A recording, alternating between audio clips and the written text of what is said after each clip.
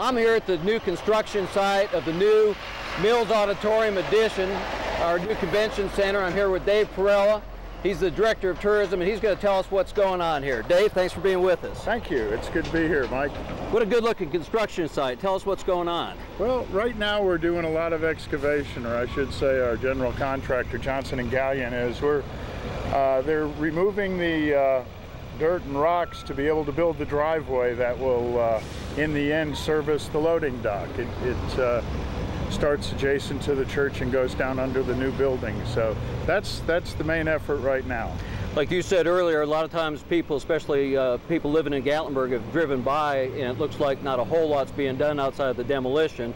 And you just took me in the back and it's a lot that's been done. Yeah, they're down, uh, they've dug down about 20 feet um, deep and about 40 feet wide or 35 feet wide. Uh, they've got a shoring company in here that's uh, shoring up the walls as we go down. That's That'll be a temporary shoring um, as a prelude to being able to build the permanent walls for the driveway. Uh, the, the entire driveway is scheduled to be done, uh, or the walls, uh, mid-November, uh, with, with it being able to be used about mid-February of uh, 2005. Dave, sort of walk us through the building a little bit. I know we have like the auditorium that we kept. What's going to be in this front area out here? Well, probably about 15 feet back from where we're standing is where the entry doors will be to the new facility. Uh, beyond that, there's another 35 to 40 feet of public space uh, as, as kind of a pre-function area for groups that are coming into the building. And then the next part of the structure is where the main, the new ballroom will be, which is a little bit over 17,000 square feet. Uh, will seat uh, approximately 1,800 people theater style, probably about 1,400 for dinner. So what are we getting in this building that we didn't have in the other? Well, number one, we're getting the ballroom, which is going to be a tremendous help for us. Uh, we're adding a, a very upscale boardroom, which will have a lot of built-in technology. Uh, we're, we're actually seeing if we can uh, fit video conferencing, a video conferencing system into the budget of that. Um, we're redoing the Mills Auditorium, which will make it a lot more uh, functional for groups in the city. Uh, we're adding a temporary, or I shouldn't say a temporary, we're adding a, uh, a prep kitchen uh, to the back of the house. And between the storage space that will be where the current driveway is and the storage space that's behind the new facility, about seven or 8,000 square feet of much needed storage space for the facility. So David, do you see that we're going to be able to expand our existing conventions or be able to do maybe multiple conventions at the same time?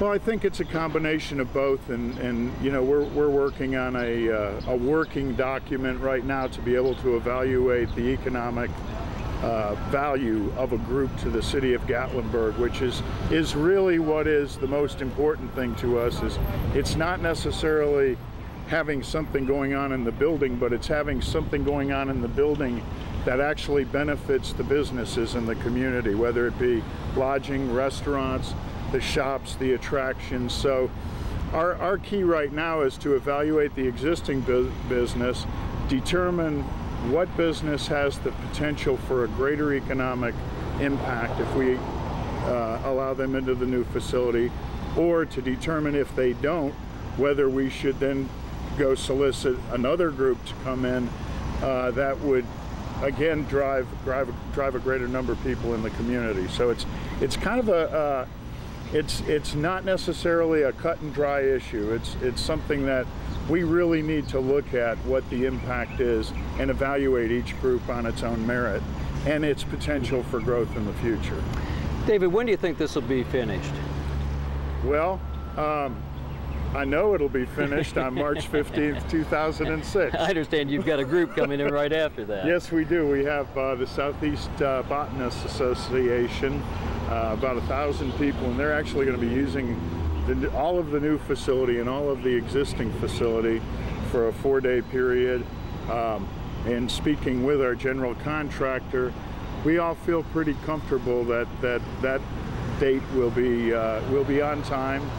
Uh, and and we feel after seeing the uh, the cost that we will be on budget. So you know that that's for us is good news. I mean we we looked at the pricing of this project in 2000, realizing that we wouldn't be able to build it for about three to four years, and uh, we're gonna the the budget for the project that uh, the Public Building Authority will be signing off on, the guaranteed maximum price, is uh, is within the guidelines that the financial guidelines that we had initially set up uh, four years ago. So we're we're excited about that. We've uh, you know we, we think overall the facility is going to add a lot to the community.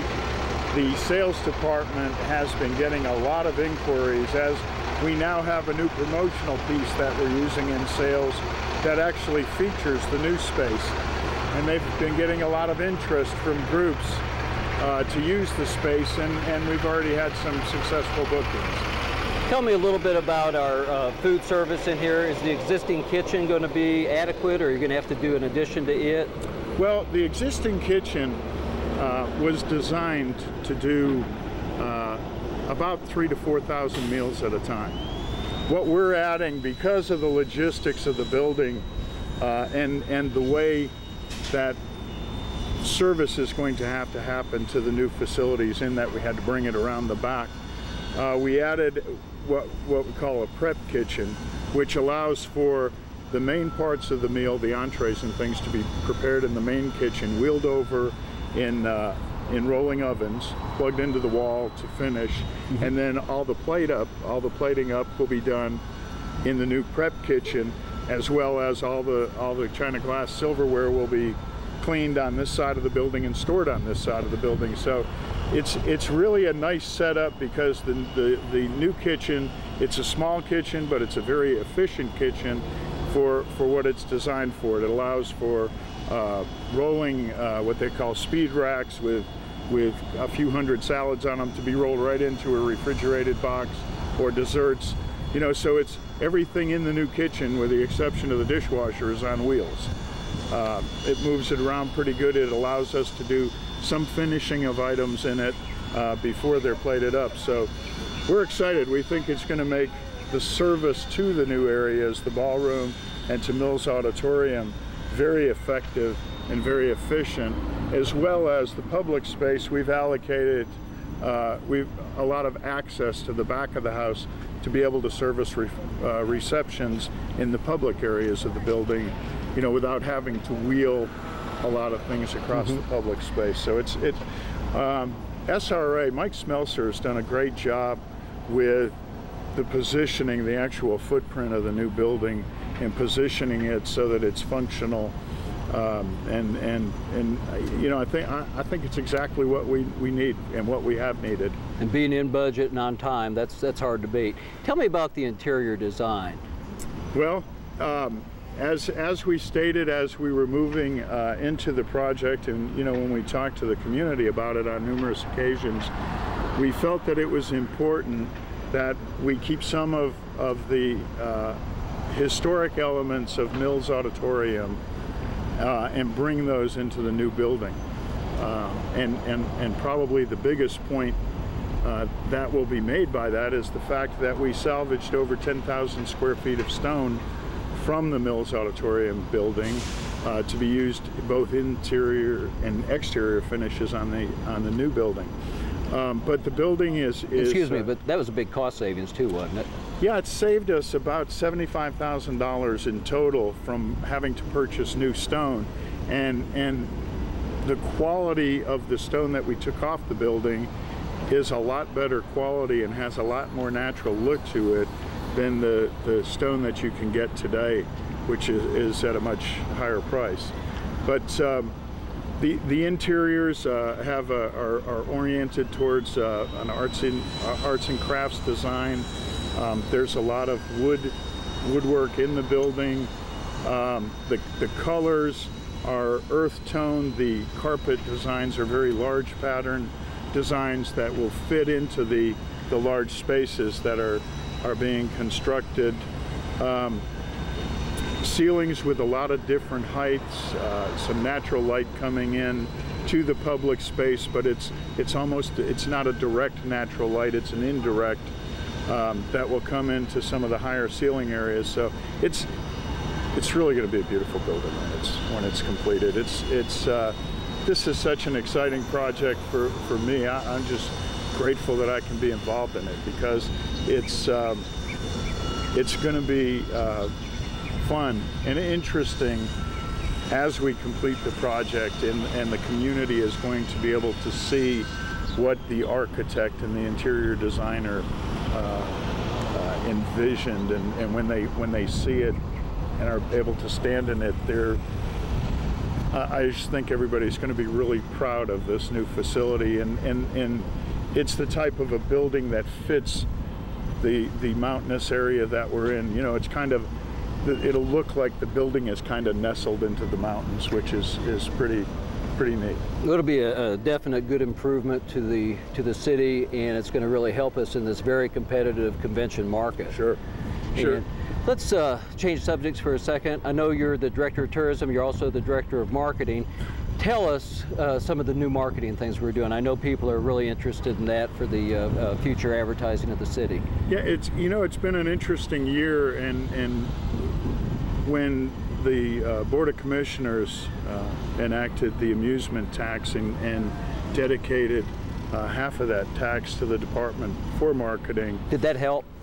tremendously. What it what it really allowed us to do was to to to look at our overall campaign um, in pieces and, and, and, and look at what the best thing for the city would be for overall for marketing the city.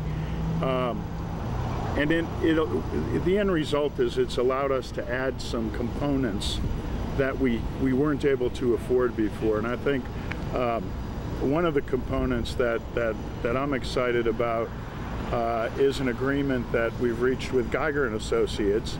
Um, Geiger and Associates is they they have have one purpose as a business, and that is to uh, put together uh, press tours for mainly cities and counties. Um, How they, did they do that? Well, you know the, the, the principal in the company, Debbie Geiger, uh, for for years worked for the Florida um, Tourism Development and uh, she left there about 19 years ago and started her own company. She was the PR director there, so she brought a lot of those contacts. Um, and and what they do is is with this agreement, they put together a program, uh, an itinerary for for say a, a, travel writer for different publications. It could be Southern Living. Um, it could be uh, oh the Cincinnati Enquirer, and they'll bring those people into the community for, in, in, in this case, our first group comes in November 3rd, which is a Wednesday, and leaves on that following Sunday. And they take them around to different areas that they're interested in. And hopefully the end result is that we get editorial copy in, in the publications that they write for, whether it be magazines, newspapers, um, and, and we, we feel that uh, right now there's such a push on for, for tourism destinations or, and, and more than that, a lot of companies with strictly uh, commercial advertising. Uh, third-party editorial copy can have a whole lot more impact. It sure does. Uh, and and so we, we feel this is a, a, a going to be a great asset for the community as we begin to, to identify the assets that are specifically Gatlinburg assets that we need to be showing and telling our story about to potential visitors. So that's an exciting program. As I said, our first press tour, uh, we have about 20 uh, travel writers coming in on the 3rd of November, which coincides with Chili Cook-Off and Winterfest kickoff. Uh, and then we have another one scheduled for May of 2005. So that's that's a uh, one program that we have that's new. Another one um, about three weeks ago we just finished filming the first segment uh, of a 30-minute television program for Turner South called Three Day Weekend. Uh, the the segment that we we just finished uh, filming uh, features a family. The, the family that, that is featured in it is actually from uh, Hilton Head, South Carolina, uh, mom and dad and two children. Uh, and they spent three days here with the film crew, and the film crew followed them around to the different attractions and to the different restaurants and the lodging facility that they were staying in. And then that will get composited and air as a 30-minute television program, probably beginning in February. Uh, we have another one scheduled, a similar program scheduled for the 15th of October, which will feature a uh, active senior couple.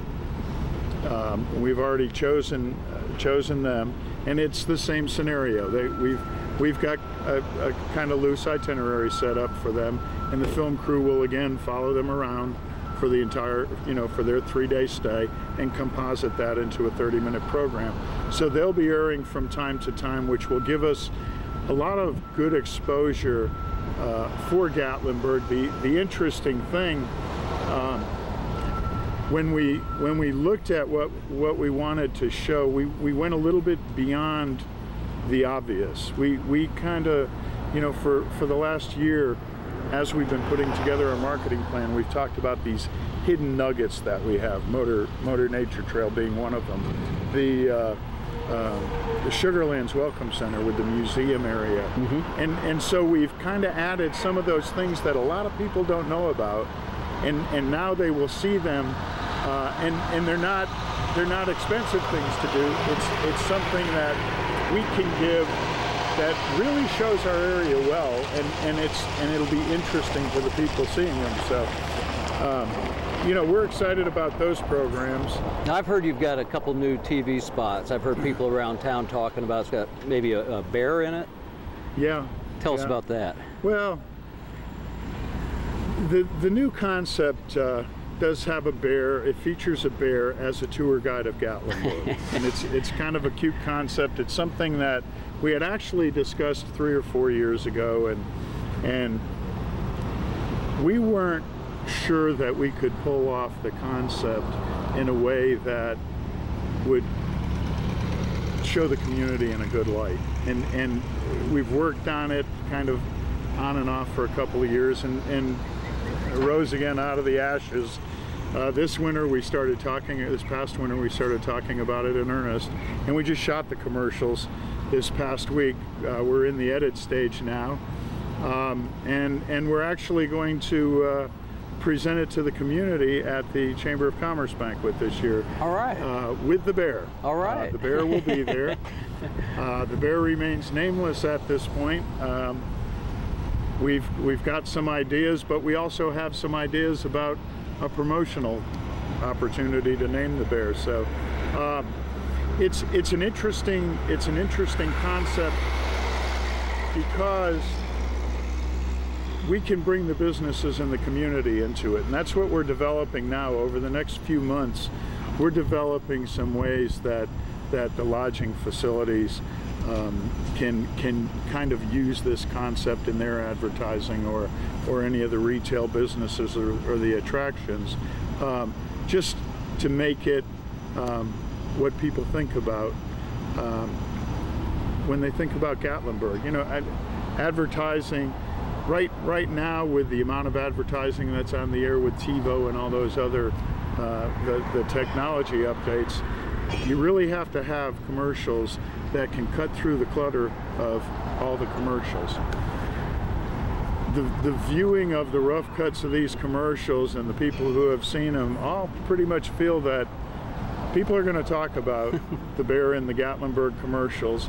Um, we, we, we think we've hit on something really good and we're, we're excited to, to uh, be able to show it to the community again at the chamber banquet this uh, this coming November. So people need to take note of that and make sure they get their tickets for the chamber banquet. Yeah, yeah. This is this is a don't miss. Very good. It's uh, they uh, the bear has has a little bit of wit to him. You know he. Uh, we don't want a dumb bear by any chance. Right, and and, and he, he he has fun with it. Um, we we had a great person in the bear costume when we shot him, and in fact the days that we filmed the commercials, uh, I spoke to Jim Renfro with the National Park a few days later.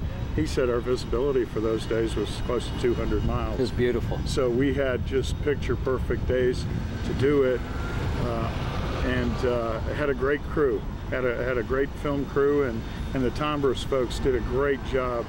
Uh, our creative team pulling this concept together. Well, Dave, it sounds like a lot of exciting things in the future for Gatlinburg. A brand new convention center, be, the addition being built, which is Yep. exciting, and this new marketing looks like good things ahead for Gatlinburg. You know, I think so, and I think the economy is is uh, slowly, uh, slowly turning. I think there was, uh, I I think some some folks jumped the gun probably six months ago, thinking that it was fixed, but I think it's coming around, and I th- I think people are are are now uh, moving again. It looks like like that. You know, they've gotten past the shock. We've got the election coming up, which pre-election we've always uh, had a little bit of a soft year Right. during a presidential election year. So hopefully, as as uh, as we hail in two, 2005 from the uh, fireworks display on top of the Space Needle, uh, we'll hail in a good economic year for Gatlinburg. I think we will. And as the building progresses, can we come back and, and do this again so we can wear these hats again? Yeah, yeah, we love these hats. Thank you, David. Absolutely, good to see you. You too. Thanks.